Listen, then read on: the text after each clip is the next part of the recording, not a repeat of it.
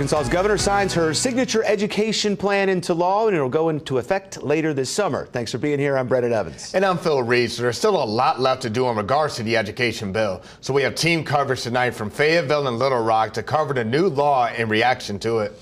All right, let's start with Brett Rains, who spoke to the new Secretary of Education about the Arkansas Learns Act. Hey, Brett. Well, now that Governor Sanders has signed the Arkansas Learns Act into law, there's a lot of work that has to be done before it's implemented at the start of July. In fact, the Department of Education has to write the rules for that massive 145 page bill. And today, we asked the Secretary of Education about it. And I'm proud that the bill I'm about to sign is the largest overhaul of our state's education system in Arkansas history. As a product of Arkansas Public Schools, this fight is personal. With kids next to her, Governor Sarah Sanders signed the Arkansas Learns Act into law. The 145 page bill addresses everything from school safety to school choice. What's called education freedom accounts in the bill allows for public dollars to potentially leave a public school district and pay for a child to attend a private school or learn at home. Most families end up staying in their local school district, but when parents are empowered to choose, all schools work harder to attract students.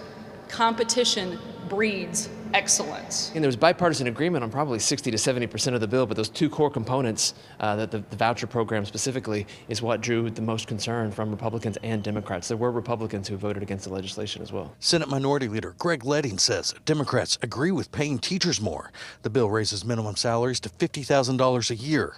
Teachers already making that amount or more will see a $2,000 raise. Now it's up to the state to implement the new law. Secretary of Education Jacob Oliva says committees are being formed to help write the rules, and Leding says it will take some time to see just how the Arkansas Learns Act will impact the state. Some topics and themes identified around the sections of school safety, topics identified around how we're going to improve teaching and learning, topics uh, identified around how we're going to implement the school choice component. So we, we've identified some of the themes that have emerged from the bill. We're going to put the educators and experts and the leaders in the districts who have their, their boots on the ground together, sit around a table. We're going to be clear, transparent, make sure everybody has an opportunity to provide feedback and get that work going right away. It's not even going to be fully implemented for three years. There are a lot of concerns about the cost. Uh, the price tag and whether or not the state's going to be able to sustain all these promises it's made in this legislation. So uh, we'll see. Time will tell. And Secretary Oliva says starting now, he'll be traveling across the state, meeting with school administrators at nearly every school district that he can. And on Friday, he says he'll be meeting with 15 superintendents in Northwest Arkansas. Live in Little Rock, Brett Rains, 4029 News.